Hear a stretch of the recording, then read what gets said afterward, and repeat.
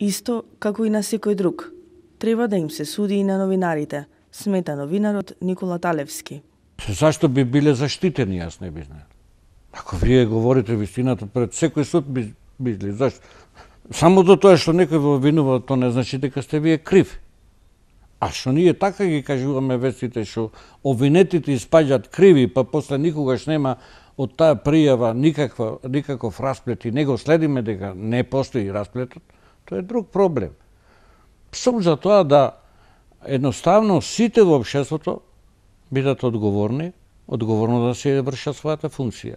Ако секој се врши својата функција на одговорен начин, зашо е платен, тогаш нема под, мислам, нема никаква причина новинарот да биде заштитен како некој, што знам јас, редко животно или некој редок вид на растение. Талевски вели дека проблемите најчесто се јавуваат во областите на правосудството и здравството. Единствена работа која што може да ви извлече од тие ситуации е да не дознаат представниците на едните или другите, нека ми простат, може сигурно не сите, дека имате доволно пари. Ако ве дознаат дека имате уште пак некоја дина настана, па ќе ве тужат, па едниот ќе ве обори, па другиот ќе ве ќе врати предмет уште еднаш.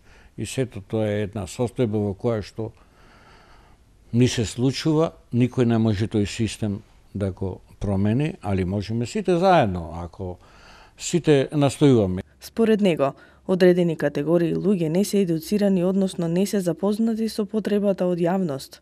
Те мисли дека она што го работи, или пресудата, или што знам јас, некоја терапија или некој однос према пациентите и така натаму, дека тој не мора за тоа да дава да, никому отчет. Отчет, да.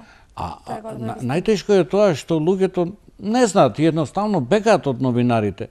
А, исто како што, добро, тука има одредени стереотипи. Знаете, ако слушате дека некој пие, вие предпоставувате дека тој возач мора да е, не, возачите мал се повеќе пијат, а, или некоја друга, да речем, особина, или премногу лажи, то мислат дека тоа се новинари, ме сваќате. Е сега новинари новинари имате, вие не, може имате новинар на кој што треба стварно да бидете предпазливи.